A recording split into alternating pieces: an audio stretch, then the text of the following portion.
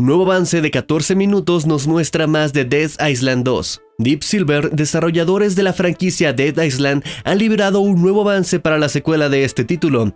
Con una duración de 14 minutos, podemos ver con mayor detenimiento más del contenido que espera a los jugadores el próximo 21 de abril. Entre lo más destacado, podemos mencionar a Dani, una de las seis supervivientes que podemos elegir en el juego y la cual tiene protagonismo en este avance. Ella se encuentra en un combate más agresivo, utilizando todo tipo de armas que hacen una gran cantidad de daño. De igual forma, tenemos un vistazo a los infectados, que van desde zombies que apenas se mueven hasta auténticas bestias mutadas que requerirán de mucha munición para ser derribadas. Con un combate dinámico y una versión apocalíptica de California, Dead Island 2 está a tan solo unas semanas de debutar en consolas de nueva generación y PC.